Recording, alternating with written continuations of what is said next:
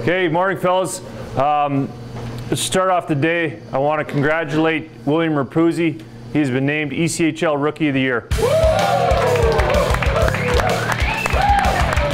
job, Poos. Well deserved. Nigro throws on the brakes, back to wall, his shot, his stick breaks, Rapuzzi scores! Somebody grab that puck. First pro goal for William Rapuzzi.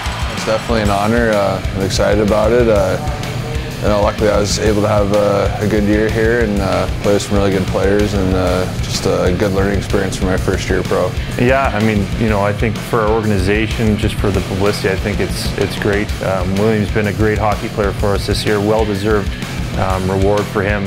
You know, he, he even had an injury and he missed a good chunk of the middle part of the season. So, uh, you know, I know for his career, it's, it's a great uh, it's a great reward. Will now come around the net, out front, back end, Rapuzzi who scores! Nigro to Rapuzzi, and what a play that was! You know, just from the, the start of training camp, you know, to the end of the season, he's been a consistent player. Obviously, he dealt with a bump in the road, uh, getting a little banged up in the middle of the, the season there, but uh, every single game he brings something to the table. You know, uh, a lot of offensive explosion from him. You know, he's he's you know deadly on the power play, and uh, five and five he's tough to stop with that speed. Uh, I learned a lot. Uh, we have a we have a lot of old guys that uh, you know kind of take you under your wing and teach you a lot, and so uh, it was good. No, I learned a lot, and it was good for sure. Right down the middle, right-handed shot.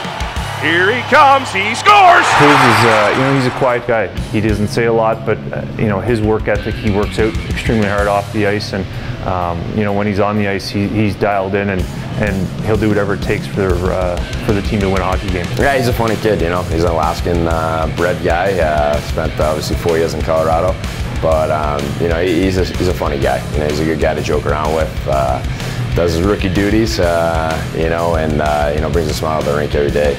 So he's a fun guy to work with, and uh, you know, especially being a young guy right out of college. Yeah, no, uh, I, I never thought uh, it was going to go this good. Uh, it's it's definitely been surprising for me, but I'm happy it went the way it did, and hopefully we can end it on a good note.